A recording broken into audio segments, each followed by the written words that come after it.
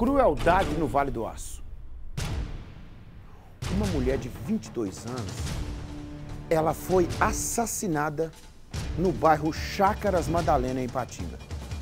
De acordo com o boletim de ocorrência, a vítima estava grávida e foi morta no dia do aniversário. Deixa eu chamar a Gisele Ferreira aqui, que ela tem detalhes desse caso. Ô Gisele, eu vou deixar você contar, vou dizer só bom dia.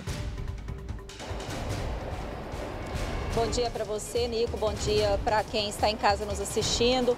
Infelizmente, né, mais um feminicídio aqui na região do Vale do Aço. Desta vez foi em Ipatinga. A vítima é a Joyce Luiza de Araújo, de 22 anos. Este crime aconteceu no fim da tarde desta quinta-feira, enquanto a Joyce acabava de sair de casa na companhia de uma amiga.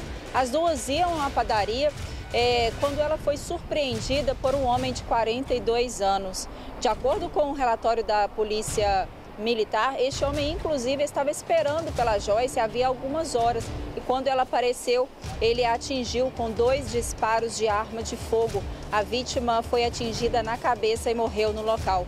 Este suspeito, o homem de 42 anos, é o ex-namorado da Joyce, com quem ela teve um relacionamento é, por oito meses e havia encerrado esse relacionamento recentemente por causa de constantes violência. Inclusive, hoje nós fomos à casa da família, eles não quiseram gravar com, com a gente, mas nos informou que ela já havia até registrado um boletim de ocorrência alegando que havia sofrido violência, que estava sofrendo violência por parte deste homem que inclusive ela havia sido ameaçada por ele também. E ontem Durante é, essa, este assassinato, de acordo com a testemunha, é, o homem disse antes de matá-la, falou para ela o seguinte: Eu disse que te mataria. E em seguida efetuou os disparos. A Joyce, ela completou 22 anos de idade, exatamente na data em que ela foi assassinada ontem à tarde e estava grávida. Essa gravidez ela descobriu há cerca de 10 10 dias e ainda não tinha feito nem a primeira consulta, havia feito apenas os testes, né, teste de gravidez de farmácia, depois confirmou o teste de gravidez em exame de sangue e o, o, o suspeito seria o pai deste bebê. A polícia fez rastreamento, mas até agora este homem de 42 anos não foi localizado. Sobre o velório da, da Joyce, eu conversei com a irmã dela também e ela nos disse que ainda não foi possível ainda é, ver o qual seria o lugar, né? Escolherem um lugar para fazerem a, esse velório, até porque o, o, corpo ainda não foi liberado, ele vai ser liberado agora no início da tarde, essa é a previsão que eles têm, de acordo com o Instituto Médico Legal de Ipatinga. Eu volto com mais detalhes desta lamentável notícia, né? Da, é, à noite no MG Record. Nico, eu volto com você. É, obrigado, Gisele. Antes de falar sobre o caso em específico, né?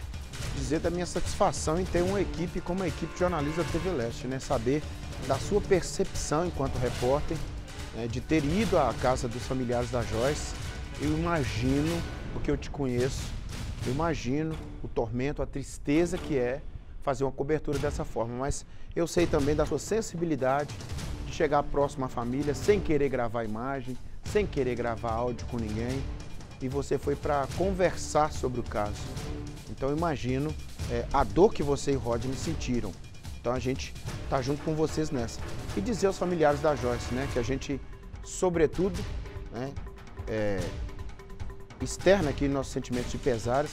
Agora, quando a gente vai entrar na situação específica, Gisele, no caso, do jeito que você conta, do jeito que a polícia narra, né?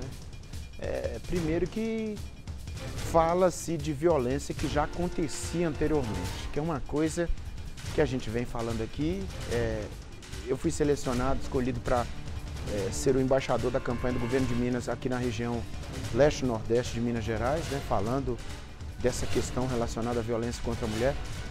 E, e, é, e, é, pavoroso, é, é assustador realmente ver como que existem muitas mulheres que são vítimas de agressão. Né? Mas isso tem sido denunciado. Tem sido denunciado, o Poder Judiciário é, ainda está muito longe de alcançar mecanismos suficientes, por enquanto, é só um papel assinado pelo juiz que diz assim: você não pode se aproximar dessa vítima num raio de tantos metros. E é só um papel. E muitas dessas mulheres são assassinadas com esse papel dobrado dentro da bolsa, ou do bolso, ou da gaveta, onde quer que seja, ou no porta-luvas do carro, né? É. Até criar o botão do pânico, aperta para alguém chegar e socorrer. Mas por enquanto essas medidas estão muito aquém do que precisa ser feito. Sinceramente, uma mulher nova, grávida, assassinada no dia do aniversário. Assim, é um, é um enredo. Isso aqui não é filme, não, gente. Isso aqui não é série, não é novela. Se fosse série, seria o último episódio, né? A última temporada da vida dela. Olha só, moça nova.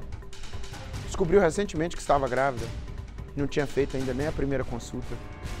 Imagina a dor da família, né? É, mas as forças de segurança estão aí para pelo menos fazer esse trabalho posterior, né? É. Após o crime só resta o quê? Buscar a pessoa, constatar a autoria e ouvir dela quais foram as motivações, né? É, quais as motivações, porque isso precisa estar lá no inquérito policial e depois também lá nos autos do processo. Aí vai ser remetido ao tribunal do júri ampla defesa, contraditório, devido processo legal. Já é outra esfera, né? A pessoa não gosta que eu falo, falou que eu fico igual o professor querendo ensinar. É assim que funciona na justiça. Agora, e a família? Família? A família sepulta uma filha, né? Uma irmã, uma prima, uma neta. No dia que era para estarem todos lá no quintal, no churrasco, comemorando 22 anos de vida. é triste. Muito triste. Obrigado, Gisele Ferreira e ao Rodney Ferreira.